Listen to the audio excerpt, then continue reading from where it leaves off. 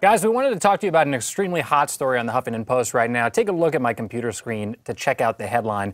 Our new Harvard study has confirmed, according to a blog post by Dr. Joseph Mercola, that fluoride, which is present in a lot of drinking water, uh, reduces children's IQ. Here's the study. This is what it looks like, um, and it's from uh, Harvard, Harvard University. And the key finding is right here. It says Findings from our meta analysis of 27 studies published over 22 years suggest an inverse association between high fluoride exposure and children's intelligence. The results suggest that fluoride might be a developmental neurotoxin that affects brain development at exposures much below those that can cause toxicity in adults. Alyona's here on set with me. Um, I think for a lot of people, it's probably a pretty scary thing to hear.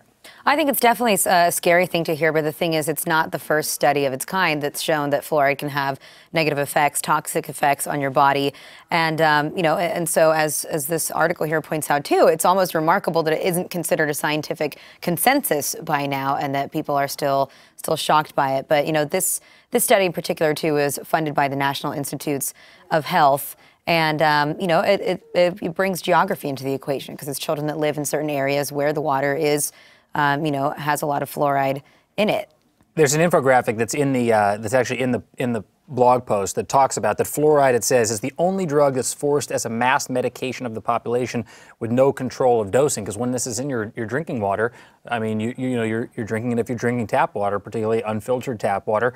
Two of the most common types of fluoride in your drinking water are sodium silicofluoride and hydrofluorosilic acid, which are waste products from the wet scrubbing systems of the fertilizer industry and are classified as hazardous waste. You know, again, um, people think of fluoride as something that might be in your toothpaste, uh, something that might be good for your for your teeth, but to hear that it could actually harm children um, in ways that it doesn't harm adults um, is something that, that, can be frightening, and probably, frankly, why this is a, such a widely shared blog post, you know, right now on HuffPost. Yeah, and if you guys go back to the infographic too, there's a lot more information there, and that's in the resource well. Uh, shows that there's more than 23 human studies, more than 100 animal studies that link fluoride to brain brain damage and um, that 50% of the ingested fluoride is deposited in the bones of children, while only about 10% is stored in those of adults. So it actually can affect children um, even more. And then here's some other statistics too 41% of American children have dental fluorosis caused by excessive fluoride, and that's according to uh, the Centers for Disease Control and Prevention.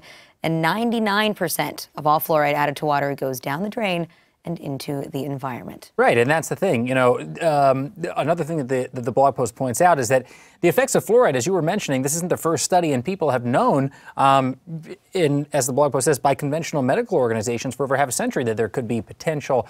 Um, adverse effects of fluoride. Um, in September, all the way back to September 18th, 1943, um, an issue of the Journal of the American Medical Association said that um, fluorides are general pro- protoplasmic. I wish Cara Santa Maria was here to sort of go through this with us, but protoplasmic poisons that can change permeability of cell membrane by certain en- enzymes. Um, and, and, again, guys, if you want to learn more about this, go into the resource well. This is an extremely hot story on HuffPost. It's something that people are sharing um, far and wide right now on Facebook. I think it's got over 3,000 shares. We're curious what you guys think because a lot of people, uh, you know, are, are, used to using fluoride. You know, you, you, hear about fluoride vitamins as a kid, you hear about fluoride in your toothpaste, and now with fluoride in the drinking water, which is something that, you know, a lot of people may not even actually know about.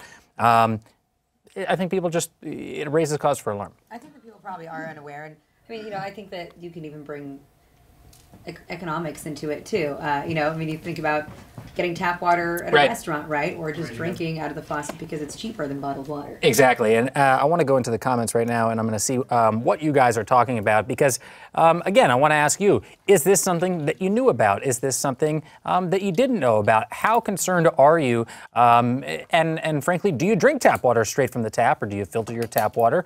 Um, and, uh, you know, are you concerned whether or not these are things that are actually filtered out of the water um, that you drink on a daily basis?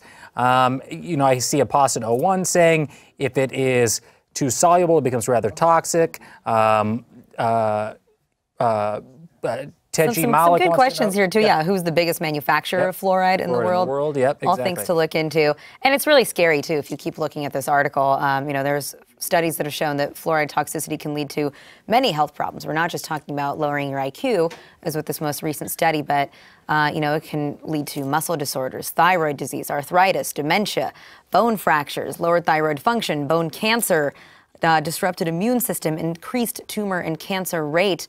So I think it just highlights the importance of really reading up on these studies, knowing what you're putting into your body. And exactly, and obviously, neither Alyona or I are medical professionals, and we don't have one joining, No. joining us right now. Um, but this is a, a- we wanted to bring it to your attention because it's a very hot story right now on HuffPost. It's being shared um, on Facebook at numbers that are, are um, you know, uh, greater than. Uh, than you know your normal uh, blog posts on the Huffington Post. So we wanted to flag it for you guys, let you take a look at it, um, tell us what you think, and uh, we'll continue to talk about this on HuffPost and, and probably in the days and weeks ahead. There'll be a lot more conversation around this. Uh, all right, guys, we got lots more coming up on HuffPost Live.